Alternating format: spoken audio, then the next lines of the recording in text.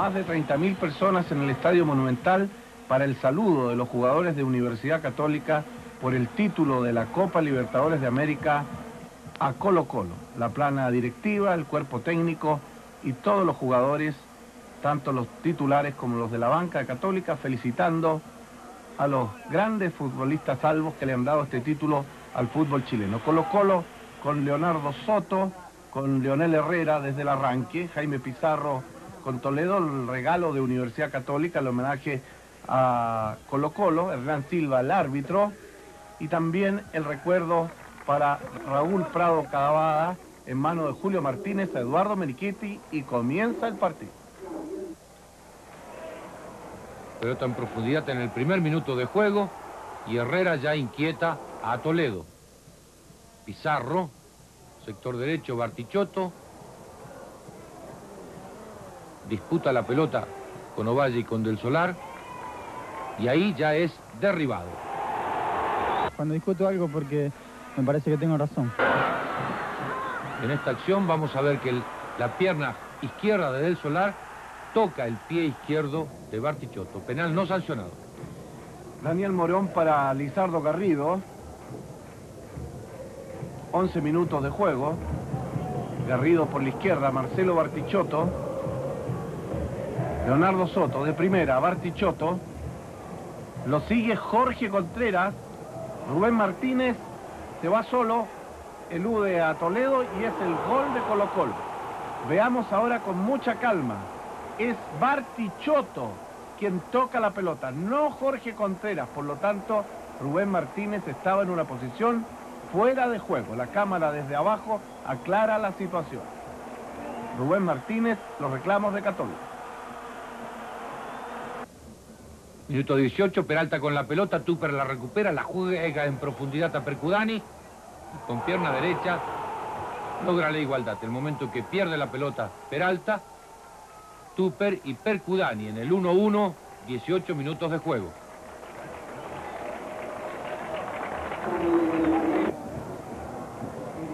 Buenos pasajes Católica, Parragué, la pared con Jorge Contreras, Parragué y se luce Daniel Morón. Otra vez Colo Colo por el sector izquierdo, gran enganche y violento remate de Javier Marga. Minuto 34, Ovalle con la pelota, Percudani, Pizarro y el patadón de Percudani a Pizarro le van a mostrar tarjeta amarilla y debió haber sido por lo menos rosada porque el golpe fue realmente violento. Y ya en la segunda fracción el Coque Contreras, Ovalle, y hace el gol con la mano Percudani. Lo anuló el árbitro, pero esa mano involucraba una tarjeta amarilla que debió haber sido expulsión. 12 minutos del segundo tiempo, Pizarro Bartichotto, Pizarro choca con del Solar se va Leonel Herrera y de derecha convierte el segundo gol de Colo Colo. solo y se la tuve al lado derecho de Pato Toledo. Este gol es para el fútbol. La reiteración del toque de derecha, la pelota rebota en las piernas de Toledo y suavemente es el segundo gol de Colo Colo. A esa altura jugaba mejor el elenco campeón de la Libertadores. Diez minutos después, saque lateral. Ramírez a Pizarro, Herrera, Bartichotto. Elude a Del Solar. Pasa entre Ovalle y Lepe. Arco, Toledo y Rubén Martínez con pierna derecha logra el tercer tanto para Colo Colo. Ahí en la reiteración, la jugada completa del gran gol logrado por Colo Colo. Rechazo de Eduardo Vilches, contragolpe Colo Colo, Leonel Herrera, abre sobre la izquierda Jaime Pizarro, la corre Rubén Martínez, va Andrés Romero, el centro y anticipa todo el mundo. Marcelo Bartichotto a los 28 minutos para el 4 a 1 de Colo Colo. Reynoso con la pelota, el centro, Coque Contreras se la pone ahí a Percudani, que eleva por sobre el travesaño. Jaime Pizarro por la derecha, Bartichotto, que voleo Rubén Martínez y Toledo que sale. Bartichotto nuevamente, Leonel Herrera, desde ahí exige en forma total a Patricio Toledo. Creo que el segundo gol marcó el trámite del partido. Ahí nosotros no, nos paramos mal en la cancha después en busca del empate y ya en base a los contragolpes con lo cual nos, nos liquidó el partido.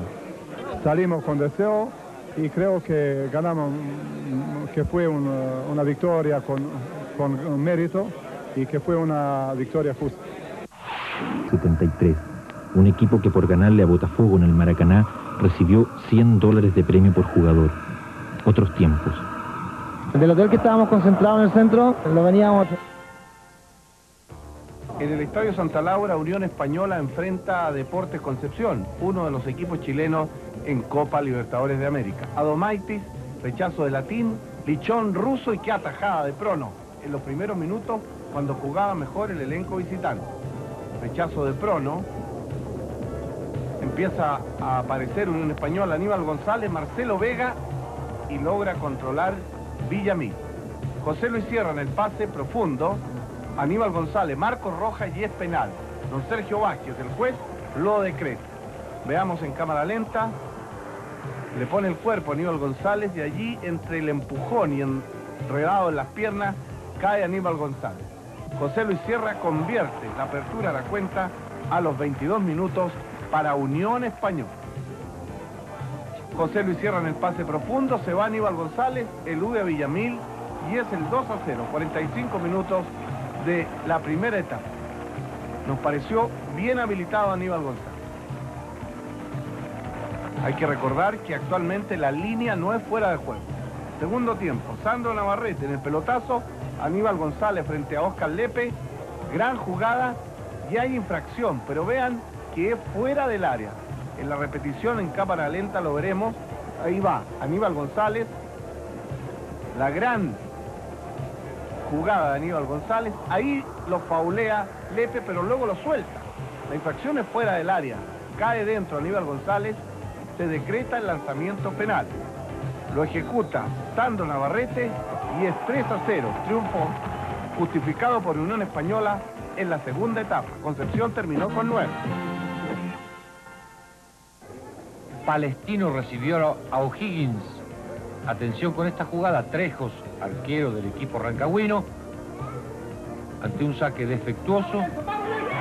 Nelson Soto que recupera la pelota, salva Trejos y Bianchi a los 29 minutos abre el marcador para Palestino. La reiteración de la apertura del marcador.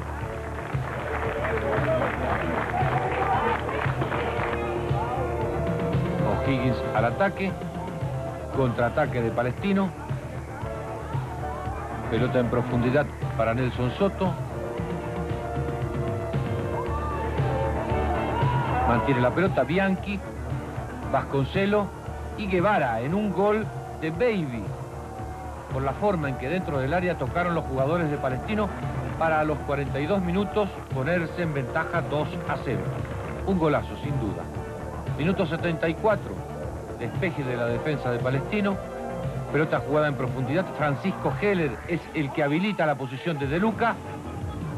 Y logra así el descuento para O'Higgins. La pelota en profundidad, el control de De Luca. Y el finiquito para el 2 a 1.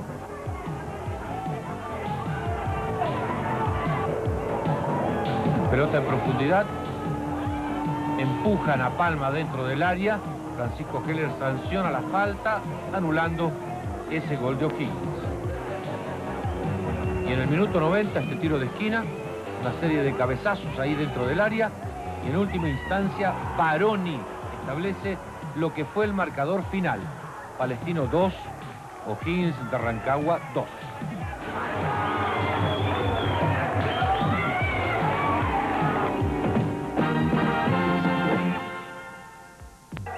Osorno, 4.950 personas y arbitraje de Luis Navarrete para la primera victoria de Cobreloa. Luis Guarda entra por la derecha, manotea Reiger y aparece Marco Antonio Figueroa como un fantasma, como le decían en México, a los 18 minutos para abrir la cuenta para el elenco de Calama. Esta es una acción discutida. Os ven gol de Osorno de José Luis Sánchez, pero veamos. Correctamente Luis Navarrete la cobra y anula el tanto. Juan Covarrubias ante pase de Marco Antonio Figueroa, 76 minutos de partido, 2 a 0 para Cobreloa. Y ahora va a ser Luis Abarca, proyectado en ofensiva, quien aprovecha una serie de rebotes y el seleccionado nacional anota el 3 a 0 para el conjunto naranja. Luis Abarca. El gol del honor de Osorno va a llegar a los 88 minutos luego de este penal que decreta Luis Navarrete. Ejecuta Leo Barrientos, ataca Osben y convierte, no de penal, de jugada, Barrientos. 1-3.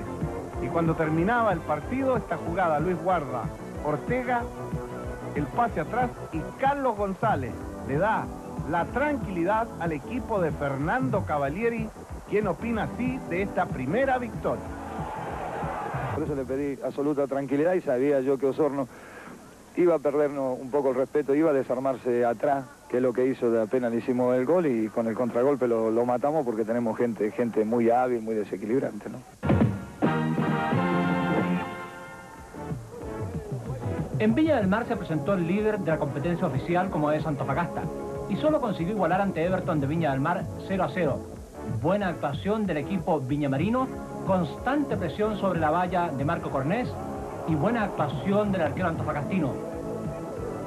Una oportunidad para Antofagasta, tiro libre de Olmos, rebote y Jorge Cortés que salva su valla. Baez en la existencia, Gino Cofré, Marco Cornés de nuevo se queda con el balón. Y una vez más, insistencia de Pedro Pablo Díaz. Observen, hay infracción sobre Araos, sigue Díaz, salva la defensa de Antofagasta. Así se defendió el puntero del fútbol profesional. Y al final Llanos, Olmos y Jorge Cortés.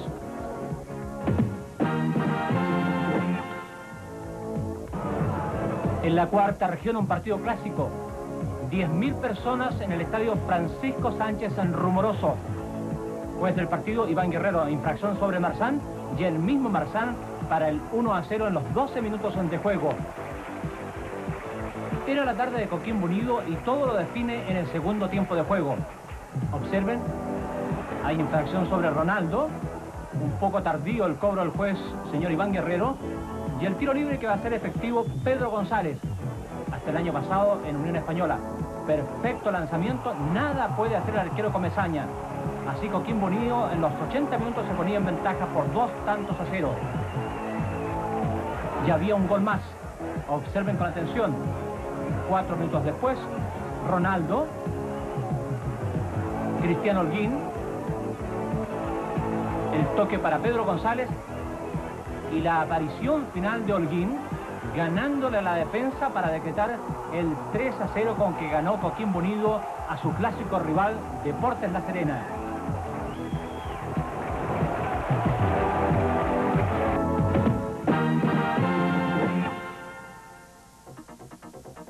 Tarde gris y fría en el Estadio Regional de Concepción y poco público. Pagaron solo 1.710 personas y la recaudación no alcanzó a llegar a los 900 mil pesos. Un resultado justo para un partido en que el visitante no solo vino a defenderse, sino que además tuvo intentos ofensivos utilizando el contragolpe. Pero aquí Jaime Bahamondes estuvo a punto de abrir el marcador en contra de su propio equipo. En la segunda etapa, Fernández Vial continuó presionando. El horizontal ahogó el grito de gol de Cervando Vecino y Pajón debió un segundo intento.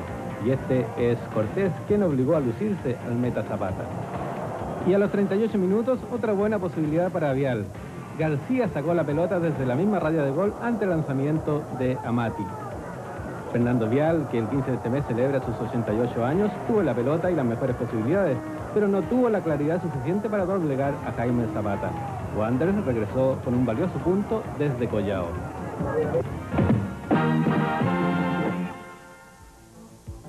En El Salvador, Cobresal recibió a la U. Walter Fernández. Y el travesaño salva el arco defendido por Jávar. Atención con ese saque de Fournier.